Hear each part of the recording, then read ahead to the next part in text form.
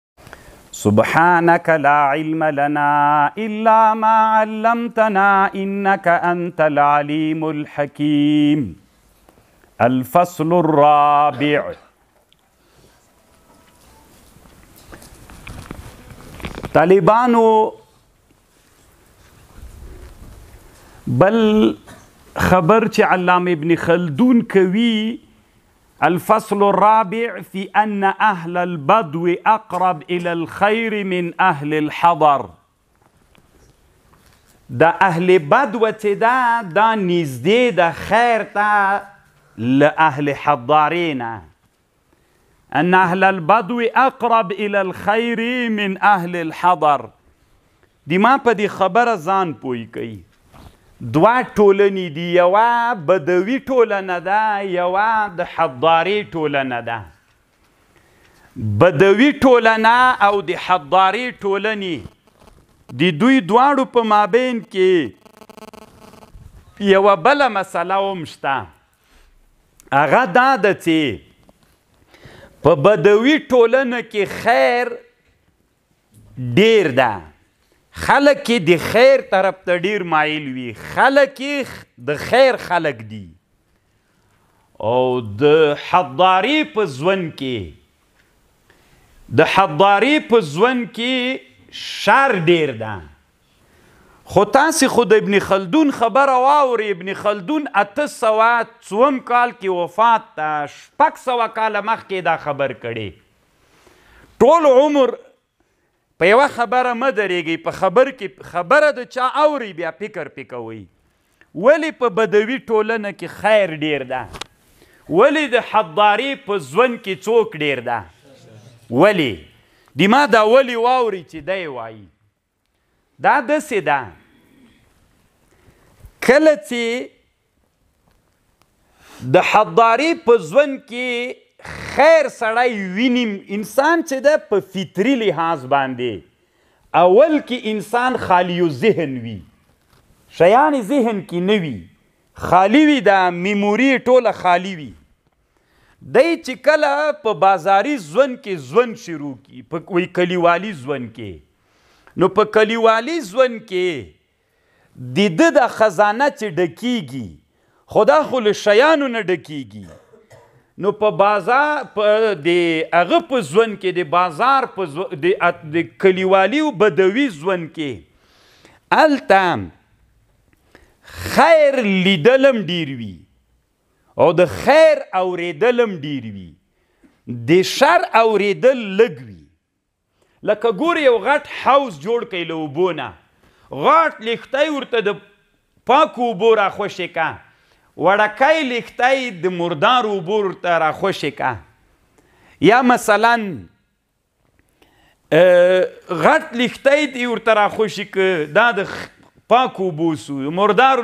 نو کوم نه حوز ډیر ډکیږي له پاکو اوبو نه یا مثلا اسانه دا پاکي مردارې پرېږدئ یو غټ حوز د دې ته دی یو ډکۍ پایپ اوبه دي ورته راخوشې کړلې، دا تروشې اوبه دي، د دریاب اوبه دي او غاټه بیاله دي ورته راخوشې کړه، دا دي چا سولې؟ د خوږې اوبه سولې، حوض له کومو اوبو نه ډکېږي؟ نو انسان په فطري لحاظ باندې دا ذهن څوک وي؟ اول کې خالي وي، نو دغه خالي ذهن چې د انسان ډکېږي، نو په کلی کې خیرم ډیر ویني ځکه ټول خیر وي ګیرور خلک وي ښې خبرې اکثره خیر خیر کارونه خلک هلته ویني کلی کې او وینیم خیر اوریم خیر خیر ډیر اوري لیدلو اوریدل د خیر ډیر وی شر لږ وی نو انسان دا خزانه له چا نه ډکه سی له خیر نه ډکه سی نو چې له خیر نه ډکه سوله هغه خیر د ده ملکه وګرځیدله چې ملکه یې وګرځیدله خیر دی رهبري کوي اخیر غالب سی او دای څنګه کوي رهبری کوي نو چې رهبری ک خیر راپورته کیږي دای ځان سره د خیر طرفونو ته څوک کوي ځکه چې خزانه له خیر نه ډکه سوله نو دغه دا جای چې ډک سو له خیر نه نو امدا د انسان هغه سوله مقتدا سو دا جای انسان چی ټول کنټرولیږی له دی جی نه کنټرولیږی دا خو له خیر نه ډک ده نو دی هم ټول د چا کارونو ته ور بیایی د خیر کارونو ته بیایی شر مغلوب سو هلته صحیح ده اما بازاری ټولنی ته چی راغللی د حداری ټولنی ته کلیوالی ژوند کی ګوری که فکر وکی چل نه وی فساد نه وی خیانت ډیر نه وي او د بازار ټولنې ته چې راغی دا نو ډیر زویماړی ژوند وي چالاک ژوند وي مداري ژوند وي دلته بیا څوک غالب وي شر غالب وي خیر څوک وي لیدلم د اوس بازار کې چې ګرځي دا خو له اسلامي نظام د نسبت ښه بازار ده نورو بازارونو د دنیا ته چې لاړ سي نو لیدلم د چا ډیر وي اوریدلم دی چا ډیر وی مخکی چی فتح نه وه راغلی چی دی کابل بازار کی به ګرزیدلی دی ښځو هم یو حال وو لیدلم دی شر وو اوریدلم ځکه ټوله ورځ موسیقیانی چلاندی ولی او بدی بدی خبری لګیا ولی ټولی خبری په دی کی وی نو مزغه به دی چا نه ډک سول دا میموری به دی چا نه ډکه سوه شر نه چی ډکه سول اوس مقتدام نو څوک سو نو شر سو ابن خلدون په دې څلورم فصل کې چې کوم خبر کوي چې ولی انسانان د بد انسانان څوک دي اکه الته خیر وینیم لګ ډیر اوریم ډیر نو خزانه ټوله له چا ډکه سي او دغه ځوان کې چې سړی را لوی سوی وي ها نو اوس طالبانو دا یوه خبره سوه چې علامه ابن خلدون وکړله دا خبره مو ذهن ومنله ښه نو رښتیا هم ده دا خو چې د بازار خلک ښه وي که د اطراب خلک ښه وي اطراف خلق د سی مخلص خلق وی شیطانت نه اغه نه پکې خیانت نه پکې چلباز نه وی ډیر د سی خ صفات الله پکې په بدوي زه زړونه پاک وی کنه هغه هغه بدوي ژوند نه متاثر شوي خیر لیدلو ځکه کوچای د اوس خیمه کې ناسته خو یو دای دی وای خزه ده یو غر ده یو واخه دي یو میګه ده یو مګ ده یو غاړه کې کړنګانه ده یو وخت ده دوه خره دي چې با نو خو نور خو چیسته ده چې وی ویني نه نور چیسته چې وای وری کله چیسته نو خو ټوله خزانه دا دی غرونو عکسونه پکې راجمع سوي دي دا خښ شیان هم هغه د مقتدا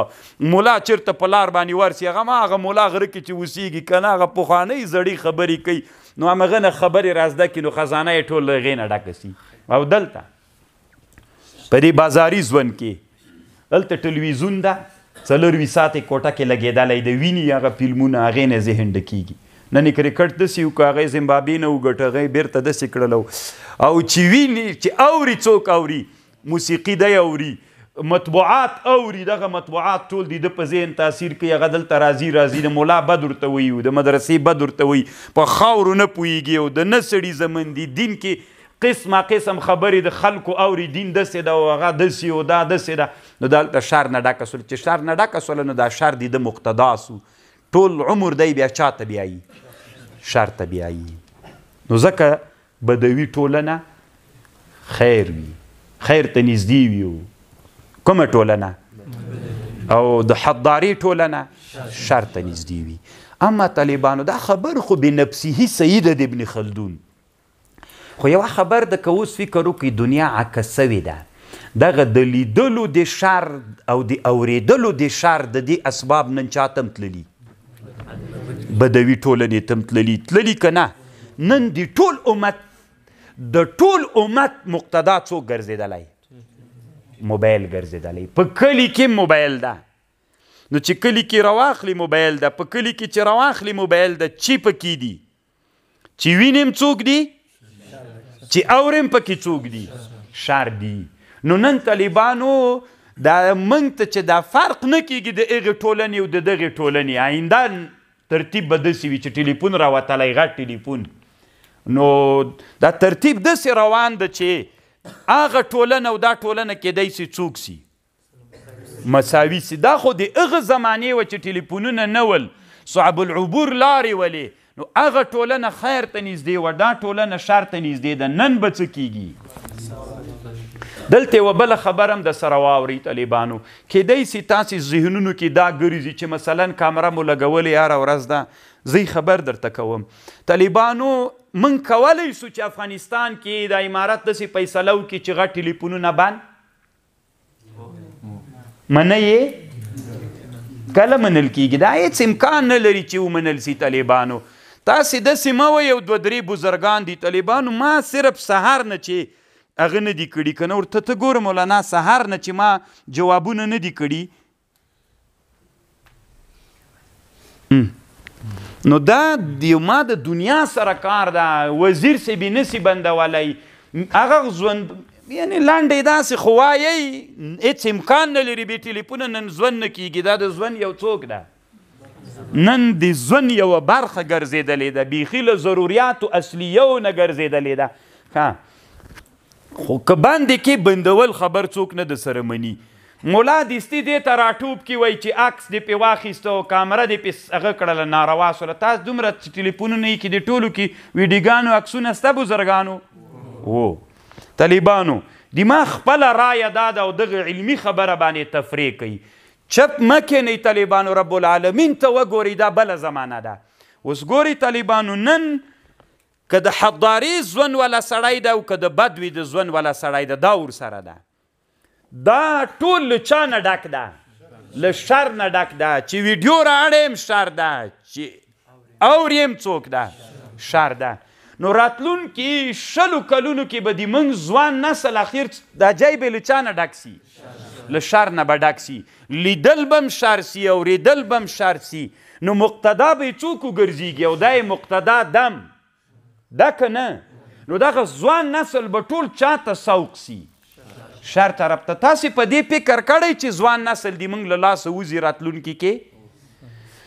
نو څه کول پکار دی اوس باید مونږ څوک چې ځوان نسل دی مونږ له چانه ونوزی څوک باید کول یې دا دي طالبانو ما چې څومره فکر کړی د دنیا هوښیارو خلکو هم په دې باندې فکر کړی ده که خبر دا د ټلیفون بندیږي نه باید مونږ بدیله مقابله وکړو مسلمانان راجیګ سو مثلا دا مونږ درس وایو دا چې تنا تاسې واوري که په زرګونو انسانانې واوري چې په زرګونو انسانانې واوري نو التبا په یوټیوب کې په فیسبوک کې په ټویټر کې ټول اجتماعي شبکاتو کې به دغه موبایل کې اوس شر ډیر ده شر لیدل او اوریدل دواړه ډیر ده خو که تاسو ټول ملګری سي ټول افغانان دغه ذهنیت باندې پوي سي چې ګوره که دا ځای له شر نه ډک سو بیا نه سي کنټرولولای بیا دې تا له ودې نه وځي بیا دې تا په ضد استعمالیږي بیا د اسلام په خلاف باندې کار کوي ځکه نن دې کې ټول شیان دې شر دي ته داسې بدیله مقابله وکړه چی اوریدونکی شیان دلته او لیدونکی شیان دا ټول څوک که مقابله او که بدیله دا دومره ډیر که دا ویډیو ګانی دا صوتیانی لیدونکی اوریدونکی دومره ډیر که چی شر مغلوب وګرځیږی خیر څوک سی بیا به دا ځو او که ته وای چی په بندومی دا دی نیکم نسی کولای دا رسره ومنه هیڅ امکان نلری دا څوک نسی د سره منلای. نو بديله مقابله کول پکار دي نن زمانه کي داي دستي دي تور فکر سي چي ناروا ده مه کوه ده الله په خاطر اوس نه بنديږي دا عکسونه هم لا اجتهادي دي ددي مسلي اتفاق ده امت مسلمه نسته ده پي باندي دا چي دي مونږ هلته له لاسه تر ټولو نه غټ خطر سره مخ کيږو له هغه نه دا ښه ده طالبانو چي دا دي چا جنبه پي باندي غالب کو د خير پي باندي غالب کو دا اوس تاسي فکر وکړي الحمدالله په افغانستان کي ويښ ملايان ويښ علماء هر چیرته چې لګیا دي خپل درسونو ویډیوګانې کوي مسایلو ویډیوګانې کوي درسونه کوي یو قسم ځوان نسل بیرته په چا باندې مصروف سو تاسو که فکر وی اول کې چې دا ټلیفونونه راووتل ټول مولایان د مدارسو عوام خلک ټول په ډرامو باندې مصروف ول ول کنه ول چې اول ټلیفون راووته ټول باغه مرداري ډرامې به کتل چا به یو شی کتل چا به لام د سیو طالبانو درو خو نه وکنه خو اوس چې کله بديله مقابله راغله دومره ډيرې ويډيوګانې د خير دې ميدان ته راغللې هغې ته بيخي سړی خوشې کيږي چې دا فيسبوک رواړې يو ملا خبره کړې چې دا فيسبوک رواړې يو علمي خبره سوې چې دا فيسبوک رواړې بيخي شر خبر نه راځي مخت درته نو خو څوک غالب وګرځوه خیر غالب وګرځوه ځوان نسل به بیا دې تا په کنټرول کې وي او که څنګه سي او که ته دې نیت ته راته ناست یې چې ته ودرېږه که نه چې بند یې کړو بندولو فکر راوکړه دا زه فکر نه کوم چې نه دا ناشونی کار د طالبانو هغه څه سره تنبه ځان مه تنبه کوئ چې هغه ناشونی وي بدیله لار باندې فکر وکړئ او بدیله لار ابن خلدون څومره لویه علمي خبره کړې وه چې بدوي ژوند ولې خیر ده او حضاري ژوند څوک ده شار ده نو څومره ښه معقول دلیل ویلی هغه دلیل معقول و که نه و طالبانو اما دا د په زمانه کې زه دته مکمل احترام لرم ما دلته طالبانو دا ټول کتاب د ابن خلدون د درسونو نه لیکلی د ځان ته لا مې دویمه کتنه نه ده پې باندې کړې بیا ان شاء الله کومه خو بیرته مې دا خبره ورسره کړې ده چې دا خو هغه زمانه وله چې موبایل نه و اوس هر چاته لیدل د خیر او اوریدل د خیر مساوي سوي دي صحیح ده بازار کې به لږ ډېر وي ټلویزیون ده دلته هلته نسته ده نور خو طالبانو تقریبا ورځ تر بلې مساویتوب حالت ته روان ده کول څه پکار دي څه وکړي امت مسلمه هغه علما چې په ملت زړه دردیږي په اسلام می زړه دردیږي تاسو نه پښتنه وکم طالبانو ځوان نسل چې موبایل په لاس کې ویډیو مکوه وی نه کې غلی سه کینه چپ سه دا مولایان د سړي زمن نه دي ښه بیخي دا ویډیوګانې د خیر ټولې ورکې سولې خو خدای نه بندوای سي نو خو ټولې به دا ویني او دا د شر دي که د خیر ځوان نسل راتلونکي لسو کلونو کې کم حالت ته ځي بیا دا جواب خو راته ووایه که نه و نو خو چې یو وارې شر نه دا ډکه سوله مقتدا عزتي څوک سو خپلې شر طرف ته بیایي ځکه دې چې کې ټول دا شر چې دا هرې خوا ته قصد کوي، شار یې نه پرېږدي چې خیر خوا ته لاړ شي، ځکه دې ځای نه ټول ډک ده. دی چې وايي چې راځه نن ترجمې ته ورشه، هلته بل دې ځای ځای ټول شار، ملا دې سړي زموږ نه دي، ملا په مدرسو کې داسې کوي، ملا داسې کوي، بس ټول دې ځای نه دي، ځکه دلته تیاره ډکه ده، ته چې څومره لږ ذهنیت څوک دې خیر درکړي، دلته ډکه ده، دی بېرته دی بل طرف ته سوق کوي. کومه لاره پکار ده اوس؟ مقابله پکار ده نو مقابله په څه شي کیږي بالمثل چې غوي تاسو اوس فکر ولې په دې نه کوي طالبانو نن برتانیا څه ده د بي بي سي دا د برتانیې د دنیا ټولو اسلامي هیوادونو ته دوی څوک لري څومره خرچه په دې کېږي خپرونه لري امریکایان اروپایان د ازادۍ رادیو لري امریکایان هم امریکې رادیو لري پاکستان ته مشال په نامه خبرې دلته موږ ته ولی خبرې طالبانو ولی اخر نه پوهیږئ زتی ټول عمر مو په دې کې تیر سو ته شکوي دي تا دې هغه دې پاره رادیو جوړه کړي تا دې پاره تا دې غم نه ده جوړه کړي هغوی خپل شیان نشر کوي چې ذهنونه مو له شر نه ډک او موږ دلته ورته لګي چپس ای بنده کا کمره ودې نه وینم په خټه کې به دې در وخېزم سړیه ته خو لږ ځان سره فکر وکړه چې دا زه هم په دې باندې پوهېږم ما ته هم دا حکم معلوم و زه هم پوهېدلم خو دا چې ځوان امت مو سخت د خطر سره مخ ده د هغې بندېدل ښځه طالبان به بند کړو مدرسو نه دا یې بند ځوان ته ورڅه له بازار نه منع کړه اما د بدیل مقابله د لارې نه بالکل کېدلی سي چې بدیل مقابله وکړي د ذهنونه راواړوي راواړوي راواړوي داسې یو حالت ته یې ورسوي چې الحمدلله یو لوی کار په هغه باندې کېږي خبر خو پوهېږي یوه شجاعت په کم ژوند کې ډېر ده شجاعت په بازاري ژوند کې ډېر ده که په بدوي ژوند کې د بدوي ځوان خلک ډیر شجاعانی که د بازار د ځوان بدوي ځوان ولی دا اوس خبر کوي طالبانو څومره ښه ملا تیر سوی دومره په رازونو خبرې کوي دا وایي وای په بدوي ځوان کې مثلا اول وچ کوچانای ځوان راواخلي طالبانو دا کورونه پرېږدي وچ کوچانای ځوان ریښتونی بدوي ځوان راواخلي انسان داسې ده نن مو هلته ترجمه کې مې یوه خبره وکړله که نه هغه د نفوسو د قوت کله چې سړی په بازاري ژوند کې وي وی په هغه ژوند کې وي څه ورته وایي په بدوي ژوند کې وي نو یو دی وي خیمه وي نه کور وي نه دروازه وي نه دیوال تر نه راچارپیر وي دی دښمن لري کې نه لري په خیمه کې چالتي لیوي دښمن وي تربوري دښمن وي نور غلوي ټول شیان وي خدای چې له دغه دښمن نه دفاع کوي په چی کوي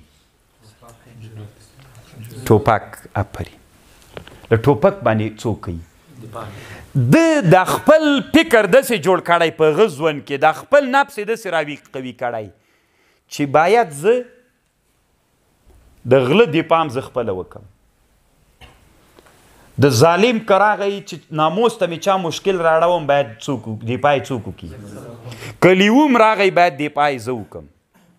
کنه نو دا نفس د سی قوی کړی دا, دا ټول کارونه په چا باندې اخیستی دا خپل نفس دومره قوی سوی د طالبانو چې شجاعت پکې را پیدا سوی دا د شجاعت اکتسابی صفت ده لالا ګانو تاسو د خبر یی داسی نه ده چی دا شجاعت بس دا به ته په ځان کی راولی تاسو چی کتابونه وګوری یو کتاب ده مشارع الاشواق الی مصارع العشاق لیدلی به می کنه جهاد هلته جهاد اکتسابی صفت ده طالبانو ها نو دای چې الته ټول ټول دیپاوی چې دای کوي په چای منی په ځان باندې منی بیا زوی ته وای چې زکه باندې وته لبته به بیا د سې کوي خزو تم هم د سې کنه خزیم ډیر شو جهانی وی د کوچانو او نو ټول اتی څوک نوي دیوالی نوي پیرداری نه وي کور نه ازغي نه یې تاو کړي هغه جال غوندې خو دی وایي زه خپله یم که نه څوک به دې نر بچی سي چې دې خوا ته راوګوري هیڅ ډانګ هم ته نه هغه دې کوچي ډانګ هم دومره عقیده یې پخه سوي چې ډانګ باندې هم لا چې ډېر خلک ټوپک سره اصلاح کي خو بازار ته چې همدغه بدوي راغی د شجاع له شجاعت نه ډک سړی دا چې هغه ته راغی څه ورته وایي بازار ته چې راغی نو په بازار کې د شجاعت کرا کرا کمیږي ولی د بازاري ټولنه کې شجاعت کم ده علت دا د طالبانو دلته د سړي اتکا په بل باندې سي. په بازار کې چې کور جوړ که بیا څه وایي؟ وایي غل رانه سي. ویزه پوسته خوسته چاته یې ور حواله که؟ او بیا وایي چې هغه نسی څه ورته وایي لیو رانسی بې ویزه دیوال خو ستا زمری رانسی ویزه دروازه خو بنده ده ټوله اتکا یې په چا سي په بل په دیوال په دروازې په عسکر په که څوک بدناموس نه یې سرار تر سوالې بدناموسي کور تراوی رسی حکومت ته ورزي په کوچانی ځوند کې څنګه کوي که بدناموسی څوک ورورسیږي خپل چاره کوي او په بد هغه په حضاري ځوند کې څه کوي حکومت ته وراړي نو چې حکومت ارڅ وکړل ټول شیان له چا نه واړول په حضاري ځوند کې هر کار له ځانه اړوي اړوي اړوي هغه نفس څو قوي نفس ا کرا کرا ګراب څنګه کیږي زیپ کیږي زیپ کیږي ټټیږي ټټیږي یا شجاعت بیخت تر نه ورسیږي چې پکې پاتې نسی څومره چې ټولنه متمدنه ټولنه پرمختګ کوي غمره شجاعت تر نه کمیږي او د هغه په ځوان کې په بدوي ځوان کې د بدوي په ځوان کې بیا څوک کیږي هلته شجاعت ځکه وی چې ښا اوس مثلا ما ته کله کله وي دلته دا پوسټه خو وروسته راغله لکه نه وي دلته تاسو راغلي وي دا بس خطر د ډیر نو خطر خو د طالبانو ټول شیان مو په ځان باندې ول کنه پیرا بم زکوم دفاع بم زکوم مشکل ویم په ما باندې د حکومت ته ژغ نه کوم نو طالبانو دا ناپ څنګه کیږي شجاعت رغټیږي ځکه چې ټول کارونه په ځان باندې رواخلې رواخلې رواخلې دا په ځان چې راخلې کنه سي زور خو غواړي خو بیا هم طالبانو لغه سره نفس راغټیږي شجاعت را پیدا کیږي را پیدا کیږي چې ابل کار به څوک یې غبم دای کی نر غوندې به کې تور ته ګور ابل به څوک یې ابم دای کی نو خو لا بودی د بل شایسته ده نو په چا یې کوي نه هلته خو د کوچاني بدوي ځوند کې حکومت سته نه خو چې نسته ده نو پوسته سته نسته ده نو هلته به د تا سره د دښمنانو نه ساتل هغه عداوتونو نه ظلمونو نه ځان ساتل بل شی سته ده نه چې اتکا پې باندې وکړي خالص به چا باندې کوي نو چې په خپل ځان باندې دی وکړه دلته دا ګرا پم راپورته سو شجاعت په سړي کې پیدا سو او چې حدارې ته راغللې ټول شیان د چا په اوږو ورسپاره سول په بل باندې ورسپاره سول چې په بل باندې ورسپاره سول کرا کرا شجاعت ترې نه ځي اوس طالبانو دغه مجاهدین چې په دې وروسته بحث درته کوم طالبانو مجاهدین چې کله فتح راغلل د بدوي ځوند کې سخت شجاعان ول اوس د چا ځوند ته راغلل ورځ تر بلې دا په خپل شجاعت نه پاتې کیږي علما وی وی نظامی جندیان څه دي جونديان به په حداري ځوند کې نه پرېږدي. که تاسې فکر وکړئ د قلي اردوګانې لېوا وي دا به د حدارې له ځوند نه لرې وي. د دې په خاطر چې هغوی په خپل چا باندې پاتې شي؟ په شجاعت باندې پاتې شي او هغوی هغه شجاعت ولري. ځکه چې دلته یې راوستې لکه را کرا داسې پر بیا دومره ډارن شي که نه چې څوک بیا چا ته څه نه شي ویللی په اسانه باندې. په خبر خو پوه شولئ؟ نو ځکه ابن خلدون وایي الفصل الخامس في ان اهل البدو اقرب الى الشجاعه من اهل الحضر په اهل بدو کې او بل دا د طالبانو یو ډیره مهمه مسله دا ده انسان په اصل کې انسان تابع د طبیعت او د مزاج خپل انسان تابع د طبیعت او د مزاج نه د طالبانو انسان د یو طبیعت او مزاج نه لري چې هغه په یو حال باندې پاتې سي دا ډیره مهمه خبر ده انسان ځان ته یو طبیعت او مزاج نه لري تاسو به وای دا خو نه د سره منو څنګه طبیعت او مزاج نه لري طالبانو د انسان طبیعت او مزاج له مألوف او له معشوق سره بدلیږي اوس مثلا یو سړی د مزاج او طبیعت دا ده چې شجاع ده خو دا دده طبیعت نه ده طالبانو طبیعت دده چې ده او دده مزاج چې ده کوم شي سره چې دده الفت ده امغه اماغه شی دده مزاج ده په حداري ځوند کې دده معشوق او محبوب څوک وو ټوپک توره هغه دده معشوق وو نو هلته له همغه سره د کې څوک پیدا سوی وو شجاعت مزاج وو د حداري ژوند ته چې راغلی معشوق یې څوک ده رافت استراحت په بل ځان برابر هغه کول راحت بیا څوک ده د معشوق ده چې هغه معشوق سو طالبانو بیا دلته په دې ژوند کې به دا راحت او رأفت وسا ځوند دا دی د څوک ګرځيږي مزاج ګرځيږي ابن خلدون وای انسان طبيعت مزاج نه لري مزاج د یعنی د سي طبيعت مزاج په یو حال دی پاتې سي د مزاج طبيعت د انسان چې بدليږي لچانه بدليږي لما حولنا اوس که د انسان داسې مزاج داسې ماحول کې ژوند وکړي چې هغه ډارن خلک ول دی به هم ډارن وي که انسان داسې ماحول کې زندگی وکړه چې ټول بچه بازانو دی به وي که ټول زنکه بازانو دی به وي که ټول غله ول دی به وي که ټول علما او مجاهدین ول دی به مجاهد وي خو له چا نه مزاج اخلي لغه ماحول نه اخلي خپل مزاج ابن خلدون وای نه لري له ماحول نه انسان څوک اخلي مزاج او طبیعت اخلي بیا طبیعت هم دغسې وګرځېږي که نه یو سړی د مثلا د مدرسې په ژوند کې ژوند وکړي چې دا ژوند یې وکړ له دې ژوند سره بلد سو بس دا د دې طبیعت او مزاج سو دا طبیعت او مزاج که څومره هم هغسې بیا هم دا مزاج او طبیعت د طالبانو دا بیا نه ترنه ورکېږي او داسې نه ده چې بیخي که دا بیا بل ژوند ته لاړ بیا هغه مزاج او طبیعت ده بیا کابل ژوند ته لاړ بیا هغه طبیعت او مزاج ده الله دې وکړي چې د ما په خبر باندې تاسې انسان تابع د خپل مألوف د چې کوم سره الفت درلوده دا طالب دې مدرسې ته راغی الفت او مینه دې چا سره ده مدرسې سره او د دې طالب سره الفت او مینه ده نو مزاج هم دا وګرځید کدی بیا یو بل نعوذ بالله ناروا خانی ته لاړ الته ژوند شروع کنو بیا الفت او مینه لغه سره ده بیا غ مزاج او طبیعت داسې انسان د هر څشي نه مزاج و طبیعت اخلي کوم یې چې مألوف ده، مألوف د ده معشوق څشي سره چې عشق و مینه لري همغه نه انسان څوک اخلي؟ طبیعت و مزاج اخلي نو انسان په بدوي ټولنه کې شجاعت ډیر ده که په حضاري؟ ولې؟ هلته ولې شجاعت ډیر و؟ ځکه هلته دی دا ټول کارونه دپاوی خپله قصد ورته لری بل څه سته ده نه چی دهغه په اوږو یی رواچی خپله به یی کوی نو چی خپله یی کوی دده دغه ګراپ ته شجاعت راپورته سی او انسان چی حداری ځول کی وی کارونه ټول حکومت ته سپاری پوستی ته سپاری دیوال ته سپاری دیوال نه هغه ته سپاری کامری ته سپاری اوس خو کامری پکی راوتلی دی ځون ورځ تر بلی وساکیږی زتی نورم پکی ډار خپور سی شجاعت صفر ته تن راسی بس ډارن سړی وګرځیږی خبر باندې پوه سولئ نو دغسې علومو نه طالبانو استفاده وکړي باید موږ او تاسې ځانونه پې باندې پوه کړو چې صحیح د هغه ژوند کې هم ښې فایدې دي دې ژوند کې هم ښې فایدې دي خو انسان ځان ته داسې یو ژوند مختار کړي طالبانو چې هغه د ژوند هغه علمي هغه نه ګټه واخلي بس